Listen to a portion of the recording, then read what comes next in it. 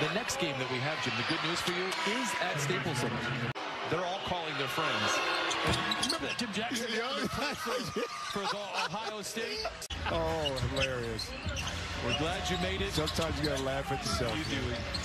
I have a lot of material on that there. Here is Boston for three, not there, and the rebound goes to Minnesota. Oh, I got some nice. You going back home for no, so don't get big time because you're going back to Minnesota. I'm just telling you that now. I got beats there too. There's still a lot of restraining orders that are in effect for when I go back to Minnesota. I had a great time in the Twin Cities. I lived in Eden Prairie for a short bit. Great people. Cannot, and my boys are going to be very excited to see me, so they're going to lace me up.